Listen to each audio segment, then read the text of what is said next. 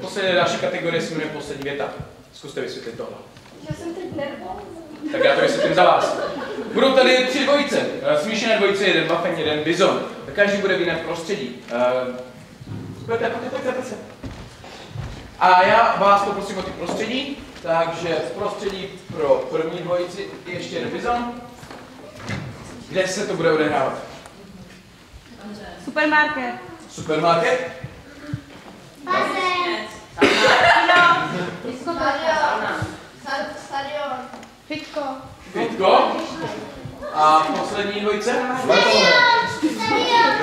Cirkus. Stadion. Křižovatka na stadionu. Vím, jak to vypadá. A jak funguje ta kategorie? Kategorie funguje tak, že oni mluví, mluví, mluví, kdykoliv já písknu, tak poslední větu, kterou řekla jedna eh, dvojice, musí ta druhá dvojice začít v tom svém prostředí. To se mluví, mluví, mluví, až padne jedna věta, kterou já písknu, to musí začít ta třetí dvojice ve svém prostředí. Takže ještě se zeptáme, jaké máte teda ty prostředí? Supermarket. Aha. Fitko.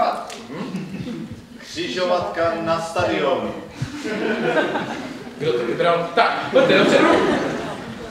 Začneme. Uh, jo, ještě vás poprosím o jednu větu. První větu. Bohem. Děkuji.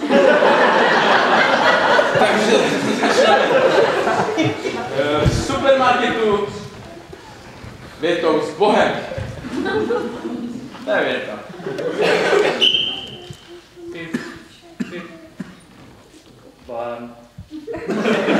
Děkuju. Pip, pip, pip. Já to nestíhám od vás brát. Já bych chtěla jet tu igelitku, prosím vás. Nejste spolu tady s tím Ne, taky mě vůbec nebaví. Kolego, tady žádný ten pán není. Já nevěřím na duchy. Pardon. Promiňte, já mám tu kasu na druhou stranu.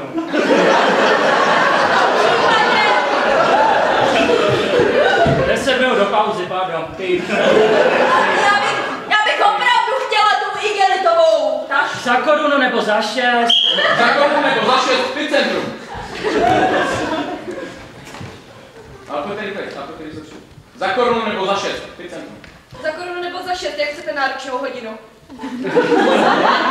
50 asi. 5,50, no tak to vám tady přidáme kladinu, těžší, já si na ní sednu a trvejte. No zaberte, ženská! Oh, co jste měla dneska k obědu? Co jste měla dneska? K obědu křižovatka na stadionu. Pojďte rychle do toho nabíjejte. Jste měla dneska k obědu, že berete vaši rozjezdovou dráhu přes maraton? Já jsem dneska měla hodně knedlíků. A přesně nevidíte tuhle pásku? Maraton? Třeba velký břicho, těch knedlíka a nic nevidím.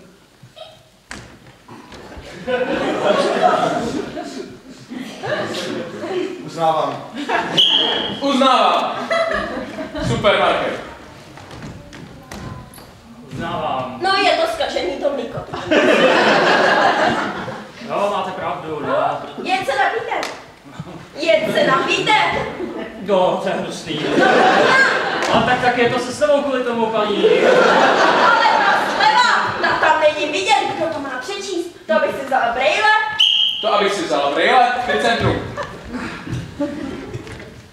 No to abych si na ten váš sval vzala brejle. Ne, ne, to abych si vzal brýle. No to abych si vzala brejle. Na ten váš sval.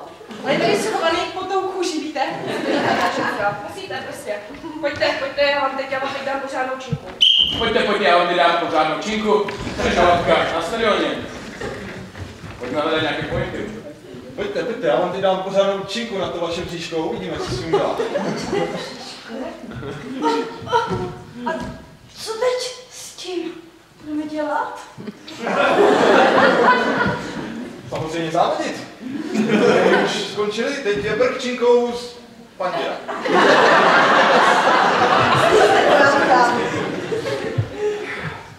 Připravím. Pozor. Teď. Podívejte, jak je daleko. Pojďme, tak je daleko. Supermarket.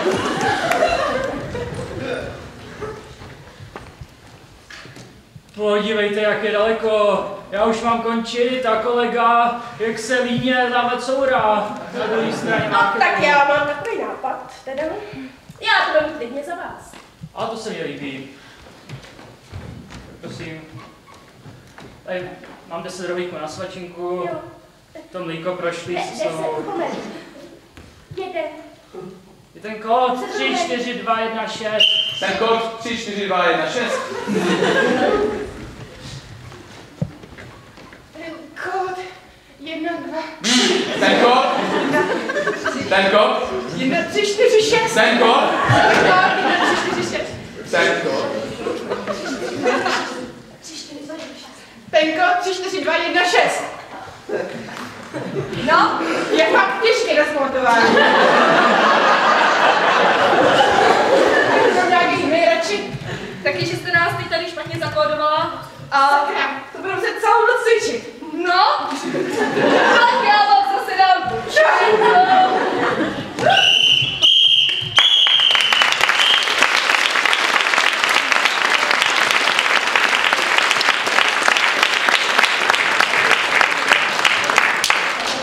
Tak já poprosím Zuziče a poprosím Kláru. Co jste udělal špatně? Já už jsem stará. U vás to bylo číslo a u vás to byla uh, věta z... Uh, mhm. Takže to je pro každou jeden trestní bod. Děkuji, nashledanou. Vy hlasujte, kdo se vám